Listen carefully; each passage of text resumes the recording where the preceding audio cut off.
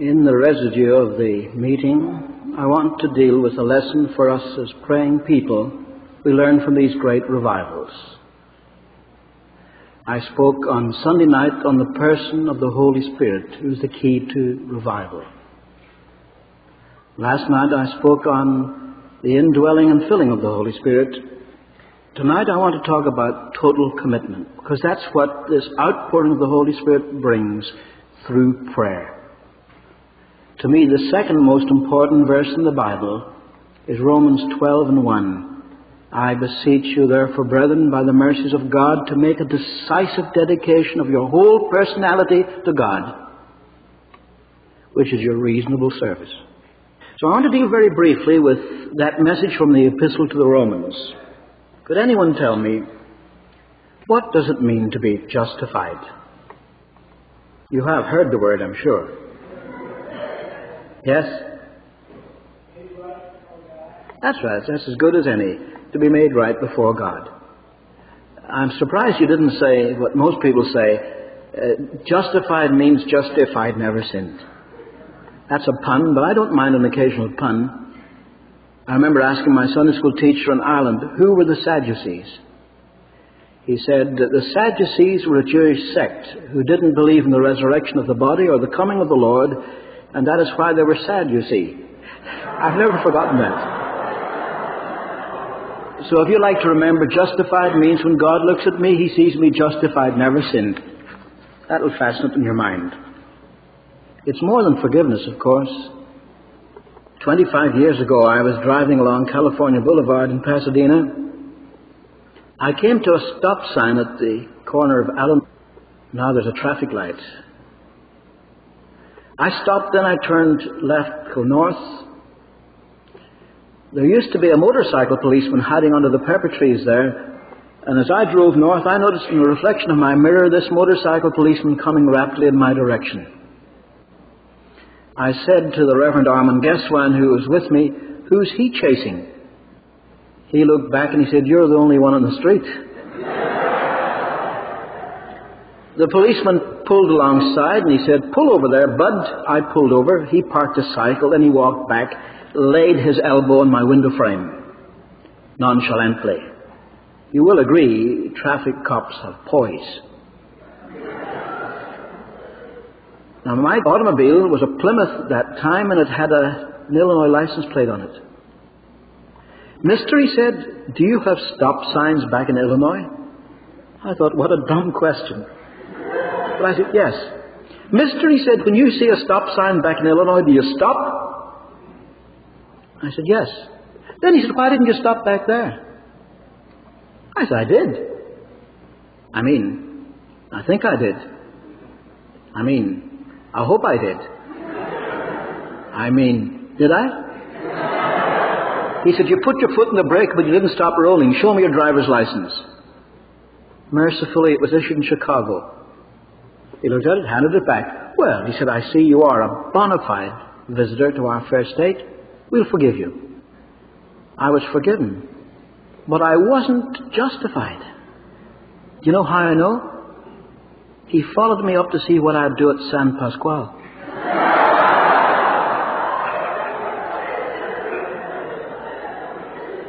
I was on probation. Now, when God forgives us, He does more than that. He justifies us. He treats us as if we'd never sinned in the first place. That's justification. What does it do for us? delivers us from the guilt of sin. It's very important. In New Guinea, one of my colleagues in the chaplaincy preached biblical sermons, but he assumed that every GI that came into the chapel was a Christian man. So he just preached on the Christian life. He never told anyone how to become a Christian. We've got to preach justification before we can preach sanctification. I asked Herbert Richardson, the late pastor of the Redonda Chapel, if Caryl Chessman, you remember his name, was interested in the Christian life. He said Caryl Chessman was interested only in one thing how to beat the rap. Yet you couldn't blame him. I mean, if a man is sentenced to death, you don't give him a book on how to be a good citizen. He's most concerned about his guilt, first of all. But Caryl Chessman went the wrong way about it. So we must be concerned about the guilt of sin. Now I'm going to mention another term sanctification. I was preaching in College Avenue Baptist Church, San Diego, many years ago. My wife was in the meeting. When I announced I was going to speak on sanctification, one Baptist lady turned to another and said, Sanctification? She said, That's a Methodist doctrine. Oh no, that's a New Testament doctrine. What does it mean to be sanctified? Anyone? To be set apart. That's right. Some people say to be made holy.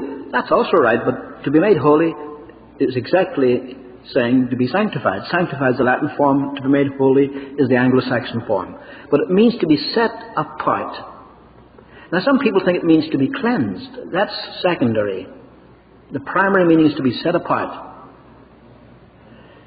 Things have been sanctified as well as people. The house of the Lord was sanctified. The vessels in the house of the Lord were sanctified. I remember many years ago coming home late one evening. My wife didn't know when to expect me, so she had gone out shopping. I was too tired to cook for myself, too hungry to wait for my wife to come back. So I said to my 11 year old daughter, How would you like to make some supper for your daddy? She was pleased. She had just learned to cook in junior high. Of course, I knew what I would get meatballs. But that seemed attractive enough. I began to read the newspaper. My daughter put the pan on the stove, a knife on the table, a fork on the table, then she put a plate on the table. I said, Take that plate away. She said, What's wrong with that plate, Daddy? I said, That's the cat's plate. I'm not going to eat off a cat's plate. But she said, I washed it. I said, don't care if you washed it a hundred times. That plate was sanctified unto the cat. That's the meaning of the word. And the Bible speaks of it negatively. The children of Israel sanctified themselves to do evil. They set themselves out to do evil. But positively, it means to be set apart for God. What does sanctification do for us? It delivers us from the power of sin. I'm Irish. What are the Irish noted for? Two contradictory characteristics good humor and bad temper. And I had my share of both. I had a bad temper. I remember trying to commit suicide at the age of 11. You may say that was very young. Yes, but mother had thrashed me. I thought they don't appreciate me around here. I'll throw myself in the river. Then they won't treat me like that again. I could see the headlines in the local paper boy's body found in river, home difficulties. And I thought they'll be ashamed the way they've treated me. It's all over some trivial little affair. Mother thrashed me for taking two pennies out of her purse and buying a box of matches and trying to set fire to two other boys. I went down to the river to commit suicide, but the water was too cold. When I'm in the Middle West, I tell them people jump off the Golden Gate Bridge to end it all. Nobody, but nobody, ever commits suicide in Duluth, Minnesota. In July, the water there is 34 degrees. It discourages suicide. So the water was too cold and I didn't commit suicide, but had a bad temper. But I thought I was a Christian with a bad temper, just the way some Christians have arthritis. I didn't realize that God could deliver me of this.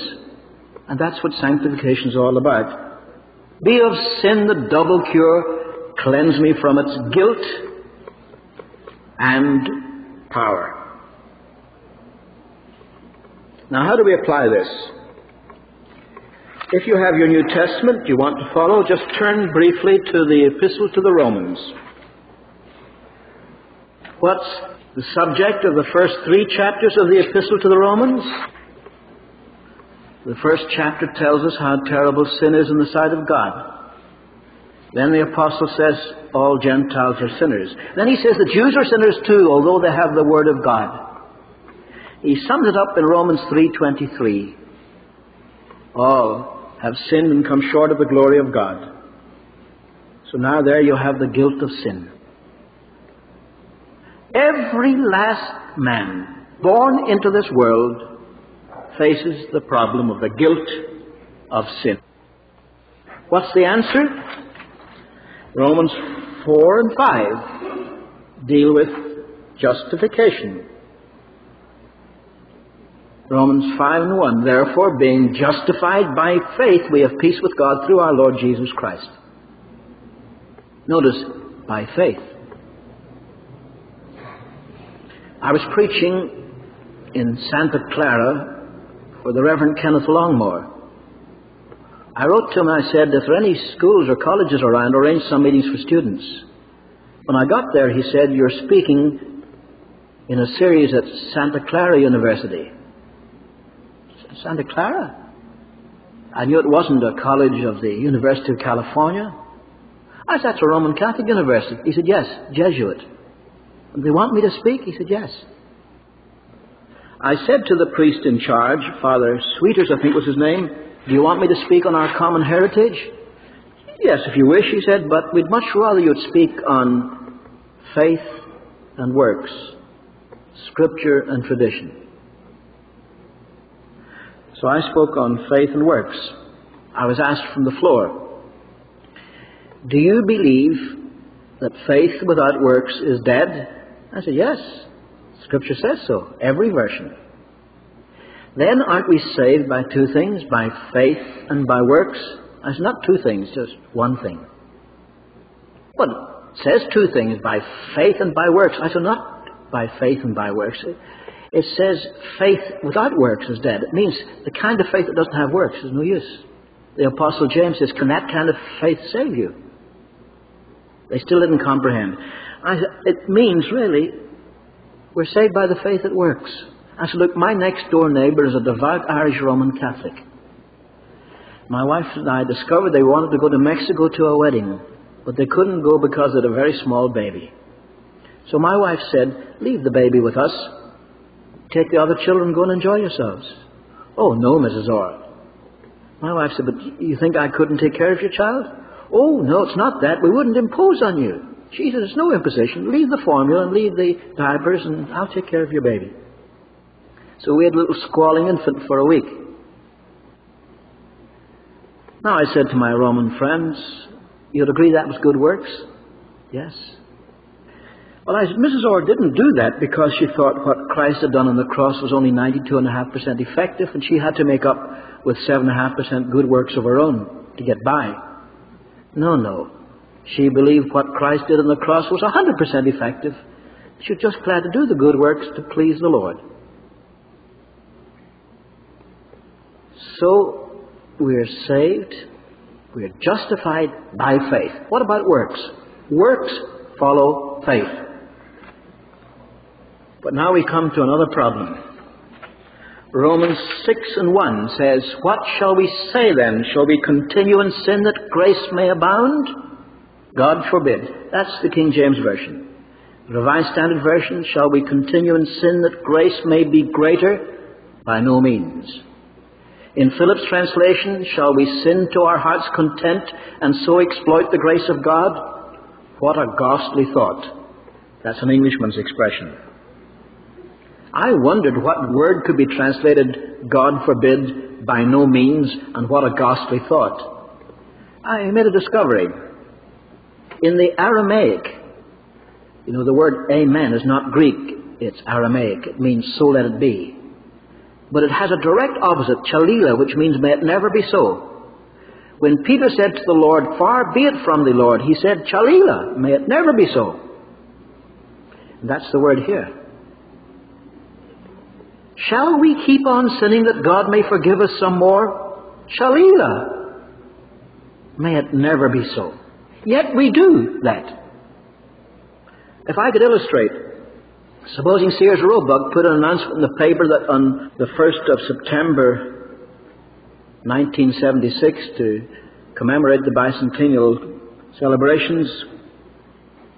Sears Roebuck and Company are prepared to forgive every outstanding debt against the firm. That'd be very good news to some little widow whose husband had died and left her no money to pay the bills. But what do you think would happen between now and the 1st of September? Everyone and his brother, Tom, Dick, and Harry, would go to Sam. I mean, Sam's U Drive. And he'd get a truck, and he'd go to Sears Roebuck and order everything he could get. And he'd say, charge it. Why? Well, if you're going to be forgiven, you might as well run up an account. And that's what the apostle's saying. God's been so decent with us to forgive us freely, to justify us by faith. What shall we say then? Shall we just keep on sinning that God can forgive us some more? By no means. Well, what can we do about this? Romans 6 and 7 deal with the problem of the power of sin in the life of the believer, the continuing bad habits and attitudes. Now, I know some will disagree with me. I heard a minister in Melbourne, in Australia, preach an evangelistic address on Romans chapter 7. But I think you can see for yourself that Romans 7 applies to the believer. Take four selected verses. Romans 7:15. For that which I do, I allow not. What does that mean? That's old-fashioned English. How could you not allow what you do? Well, actually, the modern translation is better. I do not understand my own actions. I do not do what I want, but I do the very thing I hate. Point number one. Point number two. I do not do the good I want, but the evil I don't want is actually what I end up doing. Point number three. Yet in my heart of hearts, this is 719, I delight to do God's will. I'm anxious to please Him. Point number four. Wretched man that I am, who shall deliver me? Four points. Here's a person who knows what's right but doesn't always do it. He knows what's wrong but sometimes does it. Yet in his heart of hearts, he wants to please God. And the struggle gets him down. Is that a believer or an unbeliever? Well, let's see. He knows what's right, but he doesn't always do it. That could be either. He knows what's wrong, but sometimes does it. That could be either. But in his heart of heart, he's anxious to please God. That's not the unbeliever. And the struggle doesn't get him down. The unbeliever takes his sin in his stride. He takes the hangovers with the pleasures. Whereas the believer is miserable in sin. I'm going to ask another question. Do you know anyone in Pasadena at these points describe? A person who knows what's right but doesn't always do it. Knows what's wrong but sometimes does it. Yet in his heart of hearts wants to do God's will. And the struggle gets him down. Do you know anyone like that? If so, would you raise your hand? Anyone? Who? I'm glad you're honest because I asked the question once in India at Coimbatore, and a little woman jumped up and shouted, My husband! no, if the cap fits, wear it. This describes a believer in defeat under the law in the flesh. And that's what these two chapters describe. Now, when I say in the flesh, let's make clear what we mean. I was asked in an Anglican church in Sydney, Do you mean the actual flesh?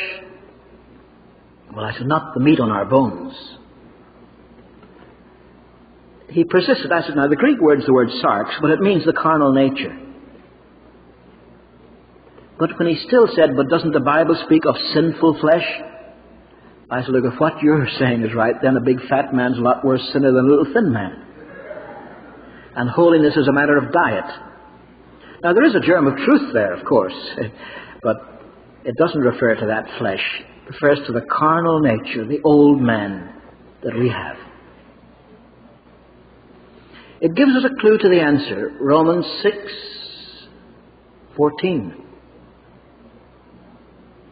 Sin shall not have dominion over you. You're not under the law, you're under grace. What does that mean? The Lord Jesus said, Whoever commits sin is a slave of sin. That's why we talk of a man being a slave to lust, a slave to drink, a slave to drugs, a slave to profanity. But this word says you don't need to be a slave. Why? You're not under law, you're under grace. What does that mean? The law doesn't help anyone. I was preaching for Dr. Ironside in the Moody Church before 4,000 people when three gangsters came in and stole the collection. Now, if they had been apprehended, which they were not, could you imagine one of those young men saying, Honest judge, I didn't know it was wrong to rob a church? Of course they knew the law. But it doesn't help you. When it says 25 miles an hour, that's the law, but you can do faster than that if you want to. The law doesn't help you, it warns you. But you're not under law, you're under grace. Unmerited favor in Jesus Christ. There's enough there to help you. And verse 11 says, Reckon yourselves dead to sin but alive to God. Next time you are tempted to sin, play possum. Reckon yourself dead. Next time you're invited to serve, look lively.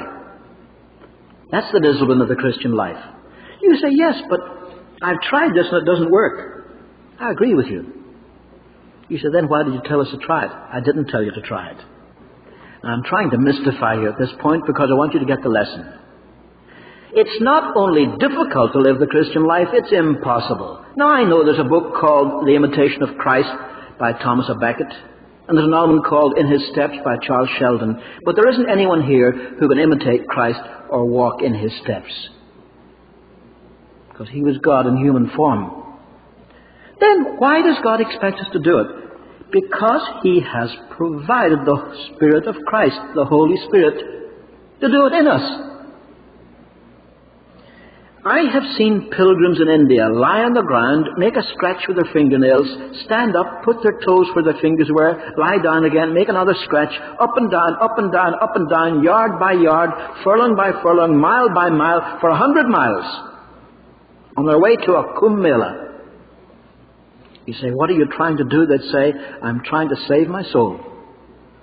It's not only difficult to save your soul, it's impossible. Then why does God expect anyone to be saved? Because He provided a Savior.